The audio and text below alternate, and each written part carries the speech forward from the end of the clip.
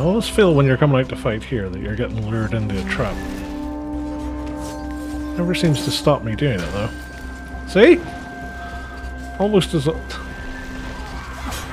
on point. Run!